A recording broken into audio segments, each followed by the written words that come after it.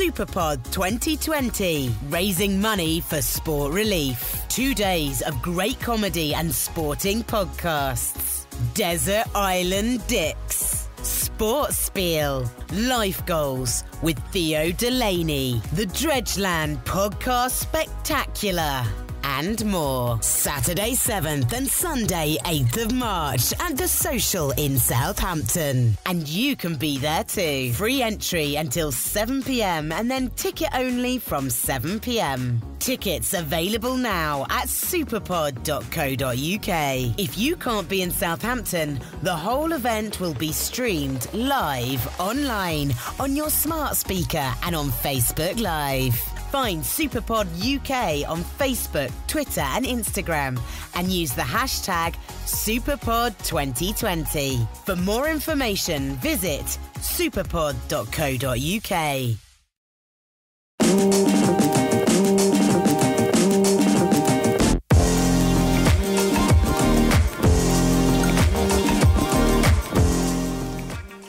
Olympic trap shooter Georgina Roberts is an athlete who knows what she wants. She wants to change the state of play, take her sport to new levels, and rewrite age old gender based stereotypes. For some people, shooting is considered a dangerous activity, not even a sport in some people's eyes, and it's certainly not a place for women. Except that's all wrong, and the 22 year old Women of the Future award winner is on a mission to tell people that. But having that ambition to transform the fortunes of a neglected, niche sport is one thing. Having the belief in yourself is something very different, but that's what has emerged from Georgie's Rollercoaster 2019. The British shooter had to take time out from the sport. There was no training and no major competitions, and that's because family came first. Her dad has been suffering from cancer, and last year it spread. The 22 year old took the decision to move back home, get a full time job, and help care for her dad. It's been tough, there's no denying it, but it has forced Georgie to focus on herself just as much as she has had to focus on her family. That has led to her accepting herself for who she is and taking huge strides with her personal development. Now, the Mintridge Foundation ambassador is ready to take on the Olympic challenge, and she's ready to take on the world. Georgie, welcome to the podcast. It's been a long time in the planning, really, in terms of getting you on. Um, but how is everything? Uh, two weeks before we both run a half marathon. It's panic stations. Work is really busy, training is really busy, and training for a half marathon is really busy as well. It's keeping me on my toes. It's all just happened in the, basically the space of like two months, where everything's just gone into overdrive. Yeah, so I think we've been planning on the half marathon for quite a few months, but the kind of last month before before that we make it to the start line, it's been a bit. Oh, this is only just around the corner. I need to find some sponsorship. exactly. Likewise. Um, I mean, we'll get the fundraising chat sort of out of the way early doors because it is, I think, 17, 16 days away as we record. Maybe not even that. Yeah, possibly less, yeah. Um, but um, for those who don't know, we're running the Big Vitality Half on the Mhm. 1st of March in aid of the Mintridge Foundation. Obviously, regular listeners, listeners will know a lot about that charity and their relationship with the podcast, but also ambassadors like yourself and the Yeah. work they do for the charity too. Um, first off, how is training going ahead of it? It's going all right. I wish I was doing a little bit more, but I'm really comfortable that the you know on the day it's going to be absolutely fine. Um, so work are really good at supporting me, so I'm able to do a 10k on my on my lunch break at work. Um, but it's I'm struggling to get more than that in with time constraints. So yeah, it'll be fine, but I'm just looking forward to actually getting to be able to do more than 10k.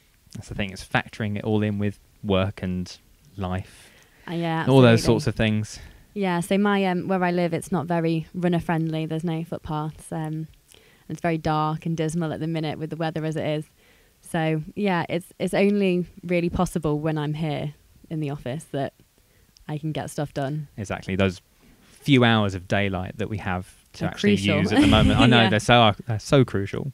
Um, and for anyone who wants to donate to your page, I'll put your page's link in the podcast notes. Amazing. Likewise, my page will go in the podcast notes as well. So I think I speak on behalf of both of us and the Mhm. charity that any donations would be very, very w- uh, welcome and Yeah. warmly received. Please be generous, guys. Please, please, please. On to then sort of the main discussion, really, and Mhm. that's you and your sport of shooting. Um, something you've been involved with for quite some time now, whether it's actually competing, blogging about it, um, being a board member on the Welsh Clay Target Shooting Association, Mhm. and now you've got refereeing and coaching coming into the, the mix as well. So Yeah. a whole range of different things. But the last time uh, we met, so back in December now, Mhm. um, and one of the things you mentioned was the or that you wanted to change was the perception of the sport and Yeah. sort of the the general stigma in society regarding the sport. Yeah. So, what kind of stigmas are we talking about? I think it's it's been a really interesting road for me. So most people who I talk to about shooting go, "Oh, isn't shooting just for large, rich men in tweed shooting birds?" No, no, no. Um, you know, clay shooting is an Olympic sport. You know, we've got Olympic trap, we've got Olympic skeet, we did have double trap. We are in the Olympics, we were in the Commonwealth, and hopefully we're about to be reintroduced to the Commonwealth Games as well. Um, so there is there, there's so many dimensions to shooting as a sport, and people don't really understand that.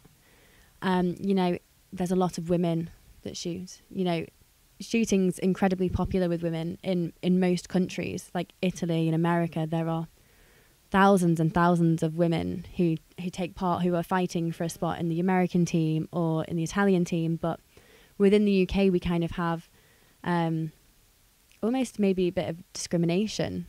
Um, so it's a male dominated sport, it's a man's sport, it's a man's world.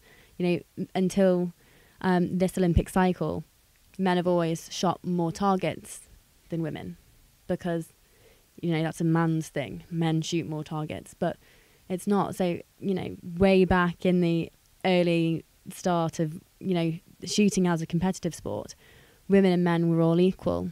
And then it's only when kind of women almost started beating men that, that the world went, oh no, we can't really let that happen. We need to have something that differentiates women with men. So we were never allowed to shoot the same amount of targets.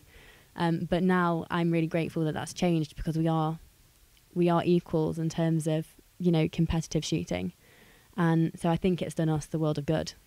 Mean, it sounds like a sort of similar debate to say the one that, uh, looking for another example, say in tennis at the moment, as to whether why the men play five sets in Grand Mm. Slams, why women only can play three sets in Grand Slams, Yeah, but sure. both are capable of the same. It sounds very much sort of a similar type of thing. Yeah. So, I, I mean, how much more needs to change on the, the female participation side of things in the sport of shooting? Because I presume there's still several things that need to happen for it to be properly equal now. Yeah, absolutely. So again, I just mentioned that you know women are well, they have there's a lot less of us um, than men, and I think it's almost because there is that element of it's a man's sport, but it's not. We have so many you know up and coming female shooting groups like uh, Shotgun and Chelsea Bun Club, which is also the lady shooting club, the Femme Fatales. There's loads of people who are really trying to get women involved. So I know British Shooting are also they're running um, a talent pathway and, and different types of academies, which are, which are really aimed at getting women into the sport and also young people's days.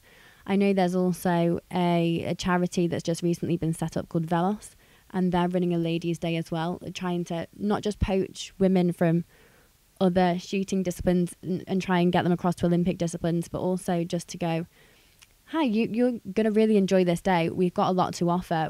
We've got the best coaches in the world. You know, we've got some great technical advice. We've got sports scientists, um, so nutrition, sports psychologists. Just come and have a day out. Just you'll see how much you enjoy it, because I think it's really popular with hen dos as well at the minute, because people are starting to understand that y there's so much more to it than just men smoking cigars, pulling trigger.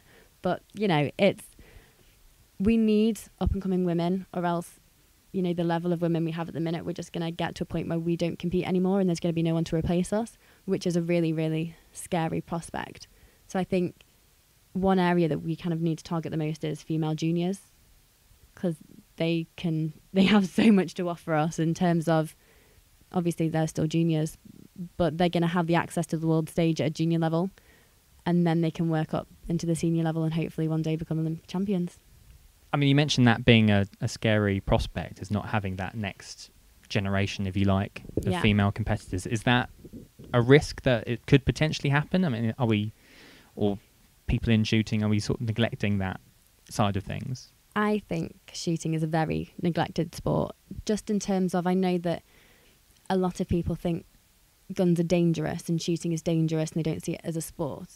And I think there's, if you think about it, in if you left a shotgun standing against the corner of a room, it wouldn't jump up and shoot itself. It wouldn't go off. Someone needs to pull the trigger. And so shooting isn't dangerous as long as people like people who are safe and they're capable and they're responsible are the people that are competing and shooting. Um, so I don't think, I- as long as people understand that, they'll know that it's not a dangerous sport and they'll be more willing and, and interested in taking part in it. Um, I think it's just how we convey that to people. But I think it's stopping them from, say, introducing their their children or their wives to the sport potentially. And actually, shooting as a sport's under threat because, you know, double trap was taken out of the Olympics because of equality. There was no women's event. And the women's event was taken out of the Olympics because there wasn't the right or enough participation. And so we didn't just lose a, a women's discipline, we lost the men's discipline, and the whole discipline was taken out. And so we can't let that happen again.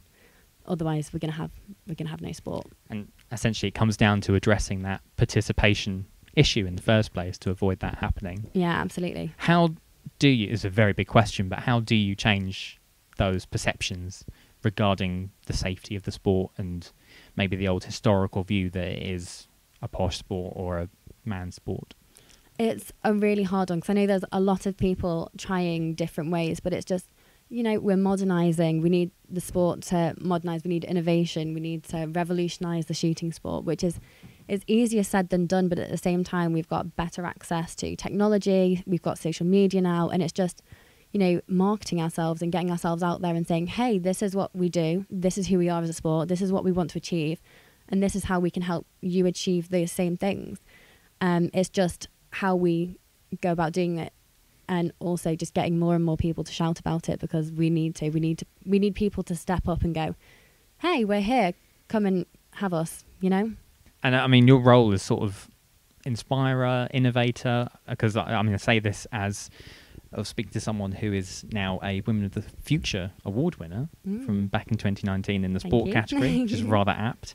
Um, I mean, first off, getting that recognition must be kind of weird, but quite proud in itself. And then is that something you can use to take on this role and trying to make the differences that you're talking about? i absolutely hope so so that award was so special to me because i really didn't expect to win it um, so i remember i walked in and everyone's given a brochure and the women that i was up against are absolutely incredible and you read their achievements and you kind of go wow i'm just you know little old georgie from north wales. And it really puts stuff into pers- perspective like oh i don't really feel like you know i've got much to offer in, in comparison to these people.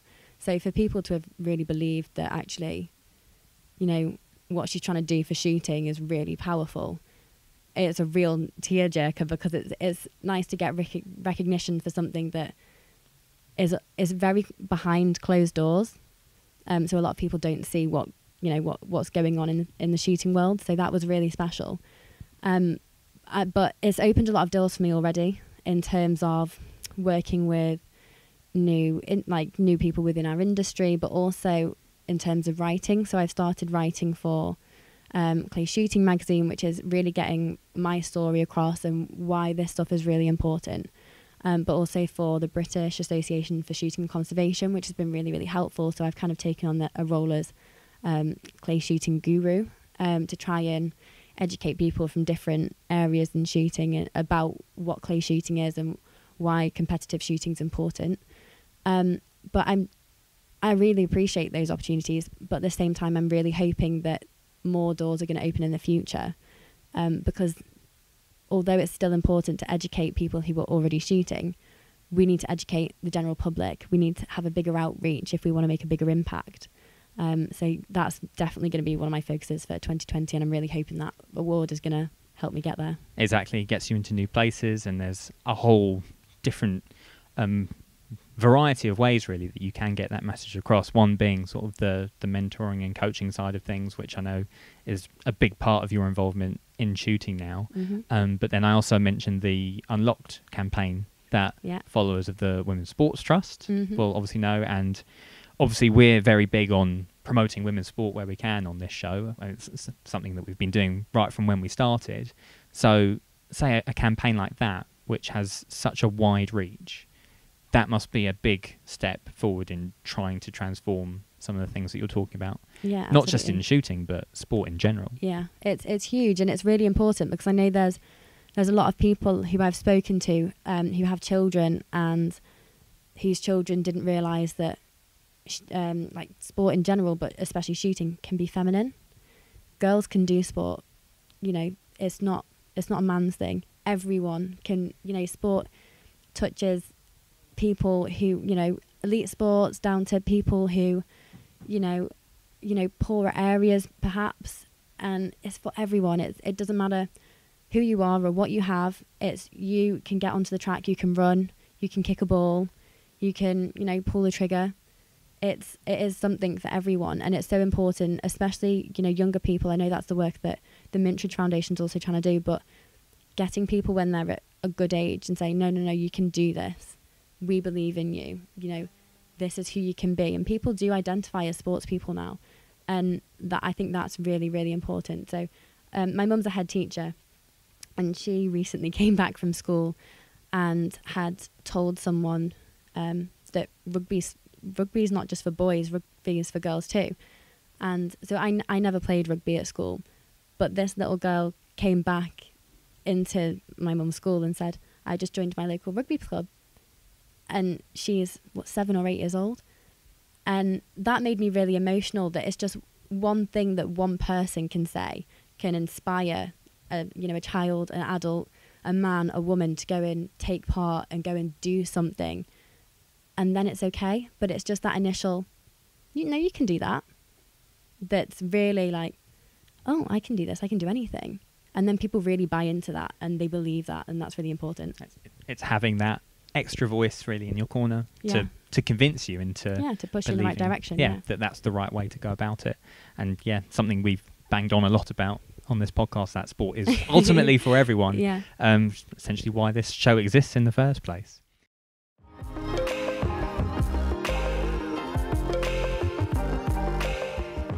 Make sure you follow Sportspiel on social media. Search for Sportspiel Pod on Facebook, Twitter, Instagram, or on LinkedIn.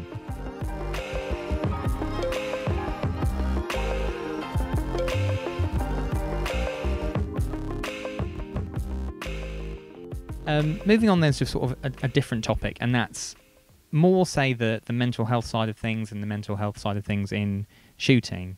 Um, to put a bit of context in this, last time we met was at the Mintridge Foundation training days back Mhm. in uh, December now. And there were a few of you that a few of the ambassadors that were asked to get up during a workshop and, and basically talk about yourself Mhm. but from a sort of emotional standpoint and a, a difficulties that you'd had um, or past experiences that you had Mhm. um, standpoint. And you mentioned that the last year had been quite a roller coaster year for you. Um, and I th- think you brought in sort of the general mental health side of things from shooting and how it's quite difficult still for people to be open and talk about those Yeah, things. sure. So, I mean, do you mind sort of briefly taking us through what happened to you last year, but also how you've managed to build yourself back up? Yeah, yeah, absolutely. So, uh, 2019 was a really, really big year for me in, in many ways. Um, less so about my own personal shooting career, um, but I kind of took took some time away. I still shot a few competitions, but I didn't do any training. I didn't go to any of the you know the big international competitions. Um, but my dad's been diagnosed with cancer, and he's had cancer for a, a few years, so that was nothing new. But his cancer had spread. Um, so I kind of I got myself a full time job, which is a real eye opener um, for you know for anyone. But in terms of trying to fund my own shooting, um, take that weight off off my parents because I'm an only child, but shooting's still a very very expensive sport. Um, uh, like I said, my mum's a head teacher, so she's got a you know a big full time job that you know it's very stressful, um, and she is doing an amazing job. She's doing the best she can, but there's still only so much that you can do.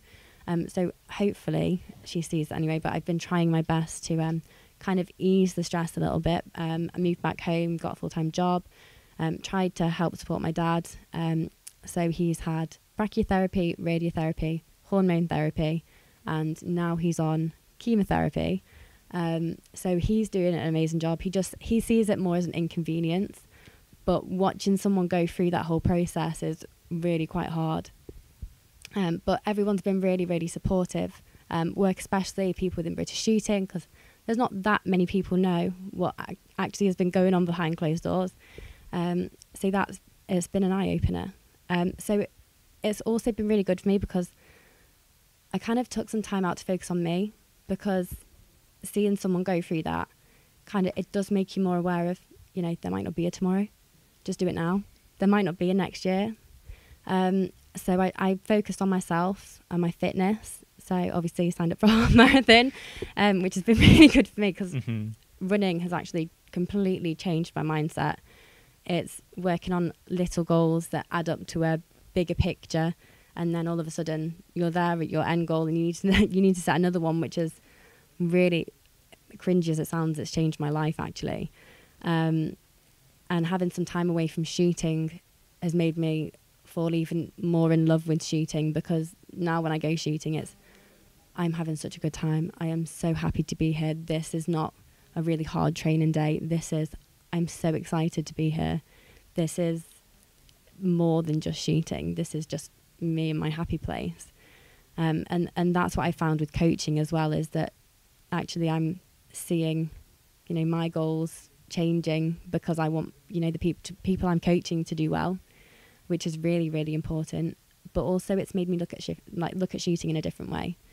It's when I go training now, I don't want to be a hypocrite. I don't want to tell them one thing and, and me not do that. So I know there's a lot of people who have different opinions in, you know, being a coach and an athlete um, say you shouldn't do both. But actually, I'm not coaching people that are trying to, you know, be my competitor. They're not, you know, I'm, I'm trying to help grassroots sport. I'm trying to help those people who are going to be the next generation of athletes that I talked about earlier.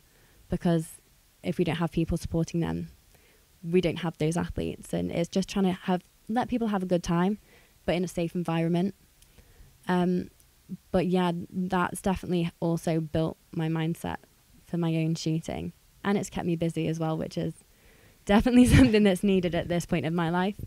Um, but yeah, it's it's kept me going, and it's it has really helped because this earlier this year, so the end of January 2020, I went to my first international competition. So I went to the Malaga Grand Prix in Spain, and um, I made my first international final, and I won gold. And for the first time I've been in a an international senior final, it was a bit, you know, twitchy bum if I'm honest. I was so nervous. Um, but yeah, to come out with a gold medal was something really special, and it, it meant a lot for my dad as well, because I think it showed him that he feels like an inconvenience to other people.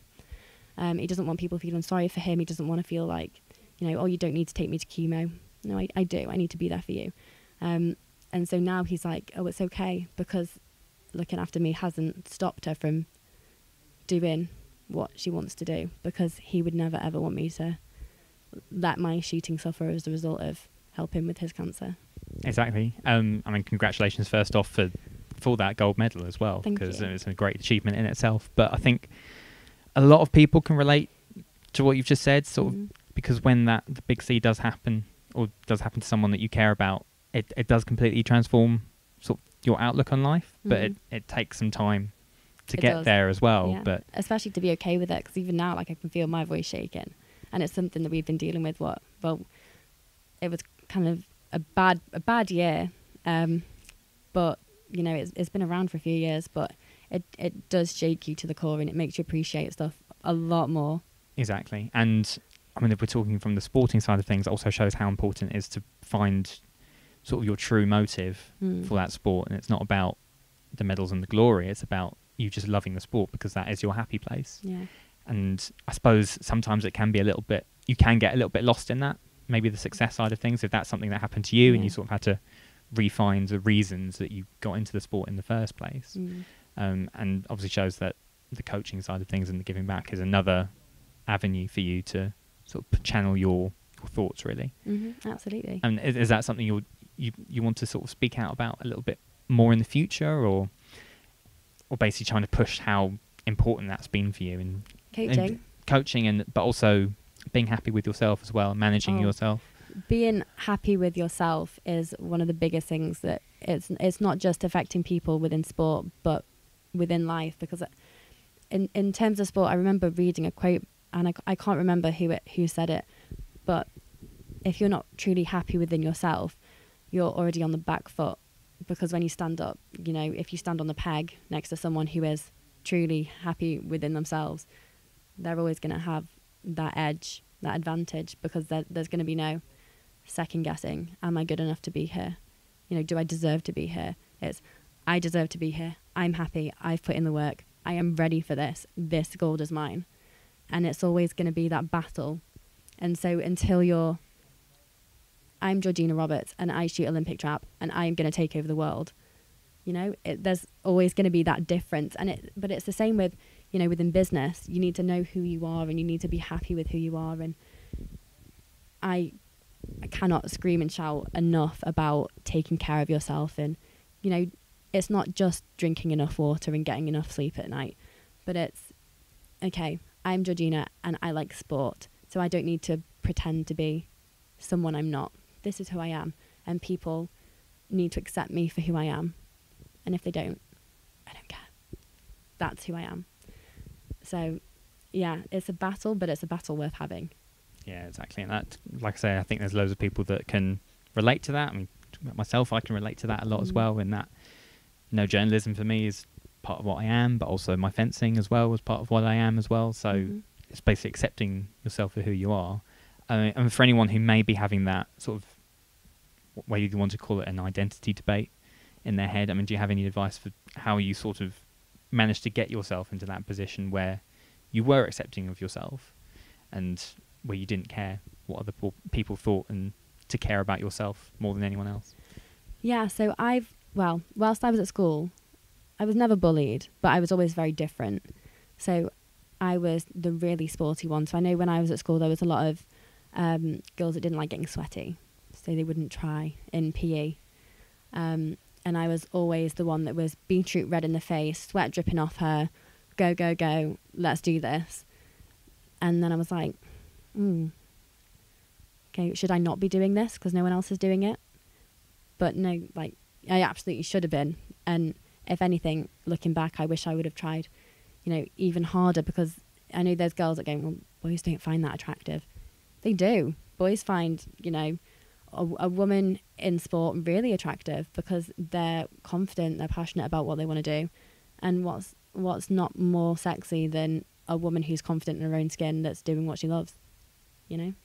Exactly. Um, and that kind of takes me on then to sort of one of the other points I wanted to talk about, and it's actually based off of what I think it was Marilyn Okoro at the train day said about your Instagram page, and how she enjoyed watching and seeing the content that you were putting on there, Mm-hmm. And this kind of touches to what we were talking about before about getting women into sport, and one of those barriers is that image, that perception of being sweaty and, and working hard, and that maybe not being what you actually want to aspire to. And I look at the role social media plays about how everyone has to have this perfect image, and it can affect so many people, whether it's boys, men, girls, women. And I suppose Instagram pages like yours and other sports people are basically the pages that are fighting against that Mm. general the perception. guts the glory. exactly, yeah. Um, so I don't know if that's something you you kind of consider in your social media activity or in the general messages that you're putting across, whether you're doing mentoring or anything like that. Do you know what? It's it's not something that I've really thought about. It's I I love Instagram. I think Instagram's a brilliant avenue for shouting about messages that you want to get across. Um, my Instagram's just my love for shooting, and every now and then it's me wearing a nice outfit, going out for a meal, um, and then a bit of food. But it's I think nine times out of ten it's shooting related post, and it's just because I love shooting so much, and I'm I'm just a really I'm a real person. If I I'm if I'm yeah red in the face, sweaty, going for a run, I that's me. That's who I am, and I don't think people post about failure enough because when you look at an Olympic gold medalist, then you know life's not all petals and primroses. There's a lot of blood, sweat, and tears that have gone into that. It's not just the glamour of picking up a medal and a bunch of flowers at the end of the day. And it's just showing like the hard work and the dedication and the real life that goes into that. The training, the fitness training, the what I'm eating that day, you know, what you know, what life is throwing at me at the minute. And it's not all pretty. It's not, you know, you can turn up to a competition and so, you know, my, my targets when I'm shooting are wind affected, rain affected. I freeze outside. You know, I sh- I, I compete in salopettes, in, in skiing salopettes because it's cold. Um, so, you know, I'm not afraid to post a picture of me covered in mud on a shooting range because that's me when I'm happy. And there's so many more elements to shooting than, you know, just posing with a nice picture and a shotgun.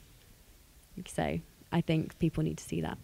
And something we've talked about um, a few times is that impact of social media and seeing both sides as well. Is that something we as maybe a society need to take into account more as the failure side of things and the Mm-hmm. down days or the tough days rather than just everything is perfect because it, it can help fuel, I suppose, people's own inner monologues in Mm. that their life might not be as perfect as some of the, the people they see on Facebook or, or Twitter or Instagram.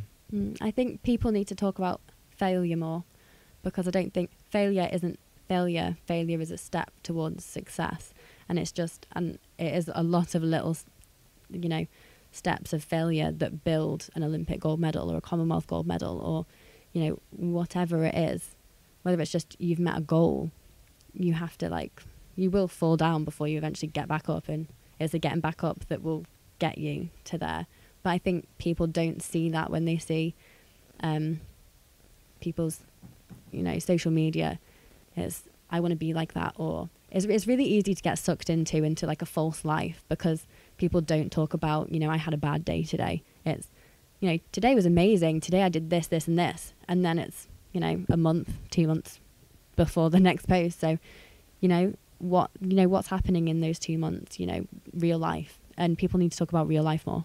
so often we see it is, you know, you can have your gold medal- success, and then two months later down the line, got another gold medal success. But what's Mhm. happened in that time? There's a lot of blood, sweat, and tears to actually get to that point that doesn't get shared. Yeah. And that kind of segues into um, asking about the Mintridge Foundation, um, the charity that you've been an ambassador for for quite a while now. Obviously, we're really close to that charity as well, and I suppose those are part of the key messages that you and as an ambassador have a role in sharing with children that you're mentoring or those that you're giving talks to.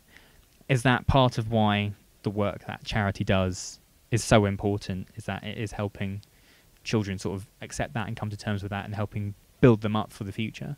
Absolutely, it, and it's it's not just that, but it it educates them, but it also gets them engaged. They want to do more, whether that's you know, say say Marilyn goes in to talk about running. It's not just impacting them, you know, it's inspiring them to get involved, not just in running, but in sport, but also to get their friends and family involved.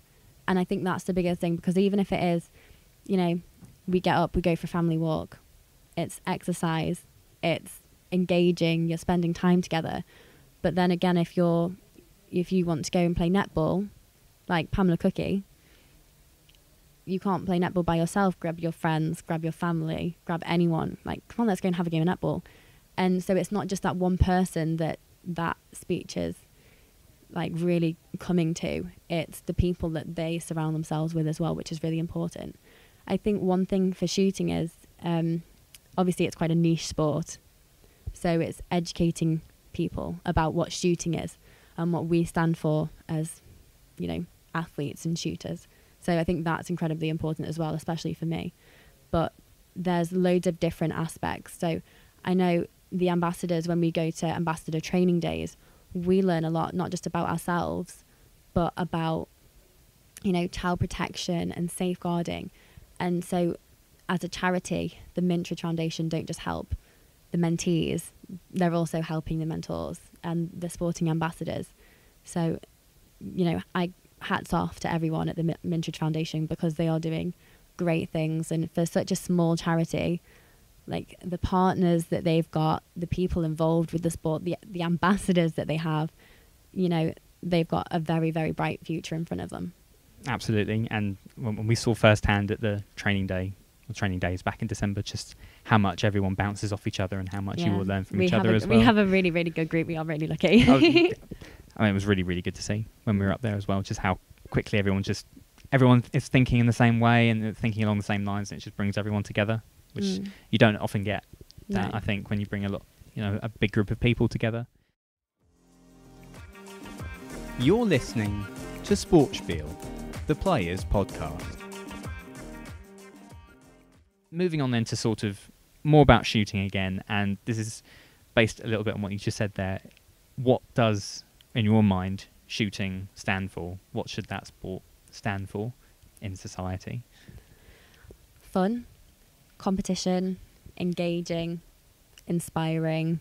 There's so many words that I could use that shooting means, well, for me at least. But I think it should be more than shooting. It should be a good day out with friends, which it is. It can be a competitive sport, which it is. It could be a day out on a Saturday, which it is for so many people. And it, I just, I, I know that I'm going to commit myself to trying to get that to reach as many people as it can, because we do have a lot to offer as a sport. You know, if you want to be a world champion or an Olympic champion, you can do that. If you want to have a hen do, you know, doing something a little bit different, you can do that as well. And you can have Saturday fun there's just so many different sides to it that people don't think about because I know I know you know if you play football that's competitive and that's a bit of fun and and shooting's no different. But people don't talk about shooting as much so we don't get as much attention. But I'm really hoping that as many people that I speak to I really hope that they you know go and oh, did you did you know about shooting? Did you know that you could go and do this? Oh no I didn't. Oh well let's go. Let's go and do that because that's how we're going to kind of reach people. So, yeah, it's going to be a good year trying to get trying to achieve that. But yeah, that's my focus. Busy year, but yeah. but it sums up what you're saying is that you need to get away from the stigmas that we were talking about right at the start, and that and broaden people's horizons really about what it can be. Yeah. From your own competitive point of view, mm-hmm. I imagine obviously reaching an Olympics is the, the dream, the, the ultimate yeah, aim, absolutely. I suppose. Paris, I'm coming for you. that's, what I, that's what I was going to say. Is in what happens now, because obviously what's happened in the last, you know, 12 months. Beyond that, means sort of Tokyo is a little bit, yeah, parked yeah. to the side at the moment. Yeah. But what happens between now and Paris 2024 is a lot of for hard that work. for yeah. that to be a reality. Yeah, a lot of hard work, um, a lot of determination, a lot of blood, sweat, and tears, but it's doable, and I will be there. I I'm absolutely determined to be there.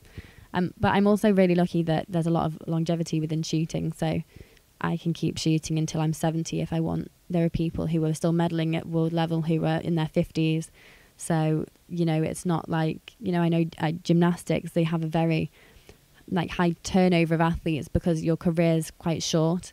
But with shooting, that's the complete opposite. We can keep going and keep going and keep going, and that's something I really, really intend to do. Exactly. I mean, you talk about gymnastics and Grace, obviously yeah. having spoken to her, and she was retired at 23, and then mm-hmm. it's sort of finding your next path. So, I suppose you're in the fortunate position that shooting can be a part of your life for the foreseeable future, really. Yeah. And there's a perfect avenue for you to get your messages across. Mm-hmm.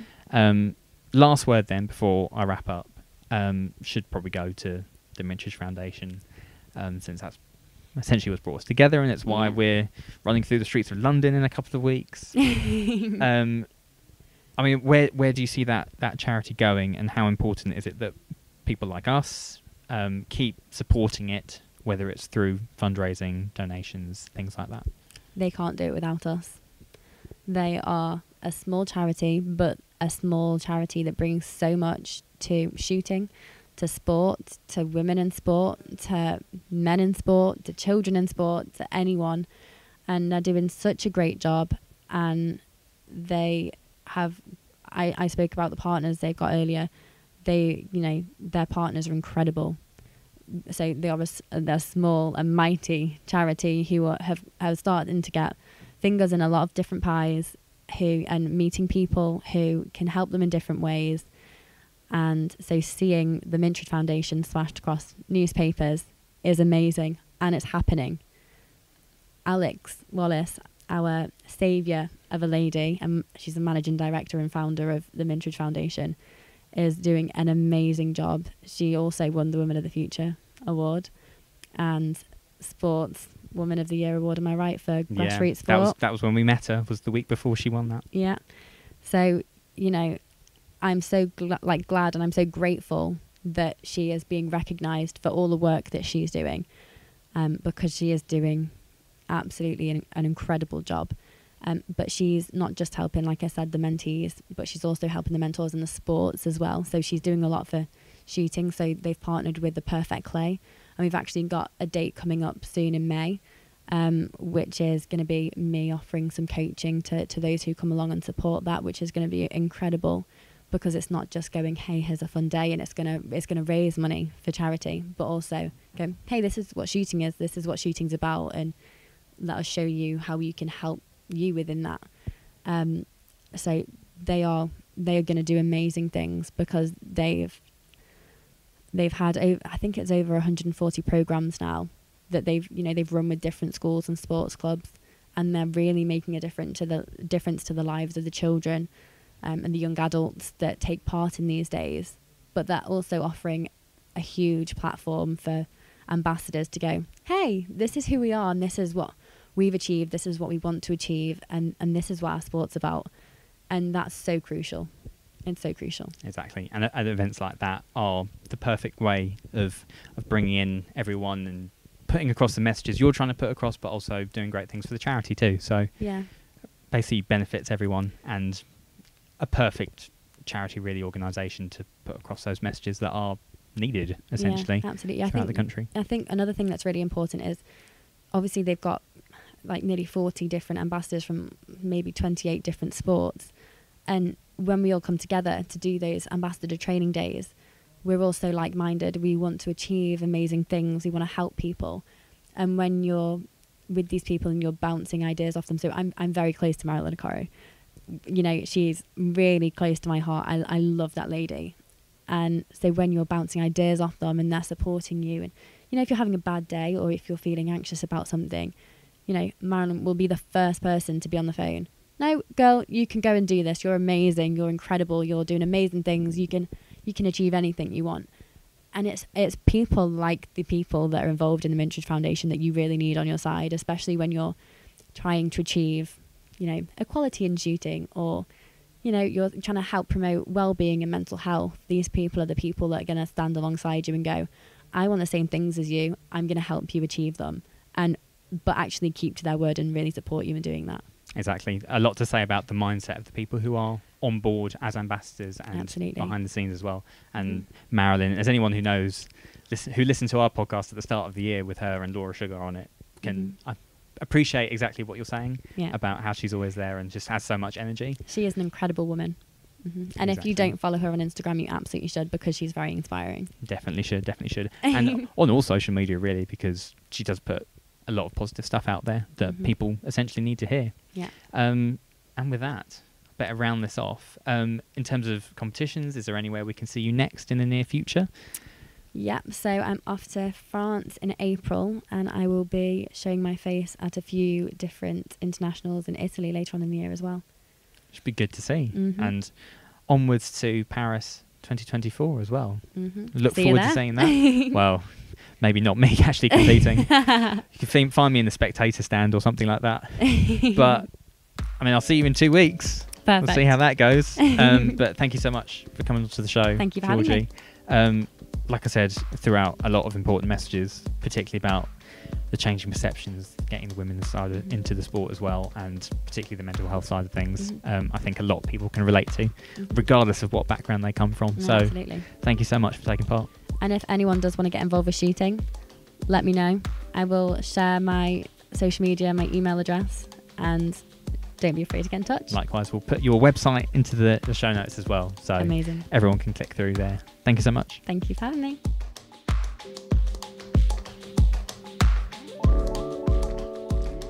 A huge thank you to Georgie for coming onto the podcast for what has been one of our most wide ranging conversations on the show, but also some hugely important topics were covered. Another plug from me, if you hadn't already gathered, that both me and Georgie are running the big Vitality Half in London on March the 1st in aid of the Mintridge Foundation. Both of our fundraising pages are linked in the show notes of this episode, and any donations would be so very appreciated. It's also a huge thank you to the Mintridge Foundation as ever for their work and their help in organising this interview. Time for some quick housekeeping now, and March the 7th is a big day for the podcast as we will be doing our first ever live show at Superpod 2020 in Southampton. We are on at 8 pm on the Saturday night. Tickets are available on the Superpod website. Again, the link is in the show notes. All of the proceeds for this two day podcast event are going to Sport Relief. So it's a very worthwhile cause, and there's plenty of other shows that are taking part in this fantastic event. We also have a sporting guest joining us that night for a Q&A session with the audience. Who that person will be is going to be revealed early next week. If you can't make it to Southampton, don't worry because the event is also being live streamed, but obviously we would love to see people there if you can make it. To round things off, please spread the word about our show on social media and on the podcast listening apps of your choice. It helps people find us the more you talk about us, and ultimately, we want these fantastic athletes to be heard by as many listeners as possible. Do follow us on social media. All of our handles are Sportspiel Pod, and make sure you are all subscribed on the podcast listening platform of your choice. That's it from me on this episode, everyone. Thank you so much for tuning in, and we will see you next time.